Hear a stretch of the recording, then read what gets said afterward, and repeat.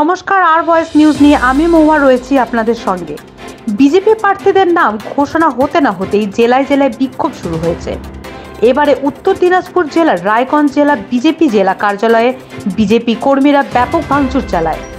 এদিন রাতে chair, table, bench ভেঙে ফেলার পাশাপাশি বিধানসভা নির্বাচন উপলক্ষে বিজেপির যে সমস্ত হোর্ডিং, ব্যানার, পতাকা মজুত করা হয়েছিল, সেগুলো সব ভেঙে ফেলা হয়। রায়গঞ্জের সংসদ তথা কেন্দ্রীয় মন্ত্রীর ফ্লেক্স ছিঁড়ে ফেলা হয়।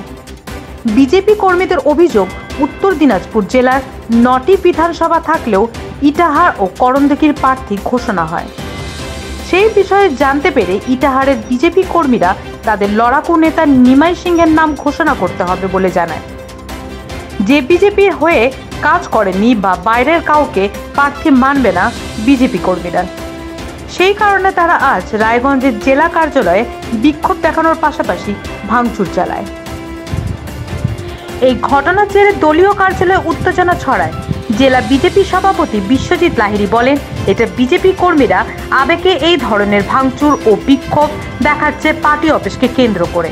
তিনি বলেন, তিনি বিষয়টি কর্তৃপক্ষকে জানিয়েছেন। তাকেও সন্ধ্যার সময় থেকে বিজেপি কর্মী সমর্থকরা পার্টি অফিসে ঘেরাও করে রেখেছে। দেবাশিস সরকার প্রাক্তন যুব সভাপতি ছিলাম আমি। ইটাহার ছত্রিশ নম্বর মণ্ডলে। এবার আমাদের আমাদের বিক্ষোভ এই কারণে সব জায়গায় প্রার্থী ঘোষণা হয়ে গেছে। ইটাহারটা এখনও ধোয়াশার মধ্যে রয়েছে। তার মধ্যে চিন্তিত হচ্ছে যিনি আজকে সব কিছু বিসর্জন করে ইটাহারে পদ্মবন ফুটাইছেন তার নিমাই সিংহ মহাশয়। তিনি যদি আমাদের আজকে ঘরের ছেলে তামাল ছেলে লড়াকু নেতা তাকে যদি আমরা হাতে না পাই এবং কি তা তিনি যদি আমাদের সঙ্গে না থাকে ইটাহারে কেউ আর সঙ্গে বিজেপিতে থাকবে না। অতএব আমরা অবিলম্বে চাই নিমাই সিংকে টিকিটটা দেওয়া হোক। নাহলে কি নাহলে কি করব? নাহলে বিজেপি থাকবে না আন্দোলনে নামবো। চিহ্ন থাকবে না।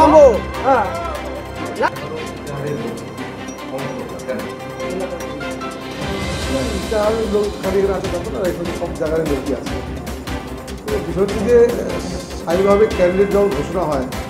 তো খুব বিক্ষোভ থাকবেই আর গণতান্ত্রিক একটা পার্টি। আর সেখানে খুব বিক্ষোভটা থাকা স্বাভাবিক কারণে প্রত্যেকের অধিকার আছে এই বলার। আর পার্টি প্রত্যেকটা কার্যকর্তারই একটা করে ও চিন্তাধারা থাকে যে কেউ মানে তার পছন্দের লোক ক্যান্ডিডেট হওয়ার জন্য।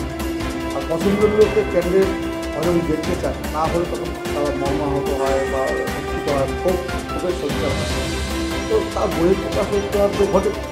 আর একটু যদি না ঘটে, তাহলে তো গণতন্ত্রী পার্টিকে তো যায় এখনও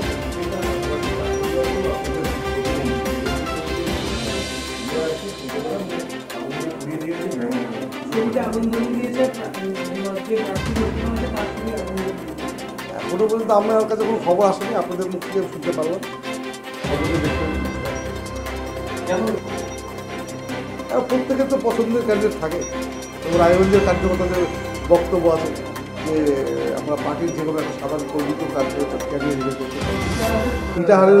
ইটাহারের যারা আছে, তাদের তাদের বক্তব্য যে আমরা সবাই সব জায়গায় ক্যান্ডিডেট হলো আমাদের কেন হলো না আর যদি করতে করতে হয় তারা পার্টি স্বাভাবিক একটু দাবি থাকতেই পারে।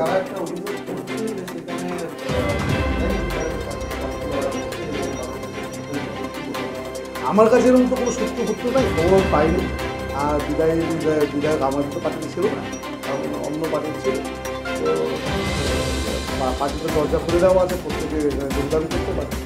যোগদান করা মানে যে তাকে ক্যান্ডিডেট করবে, কি করবে না, সে বিষয়টা পুরোপুরি কেন্দ্র কমিটি, রাজ্য কমিটি, আমাদের এমপি, এমএলএ বা মন্ত্রী যারা আছে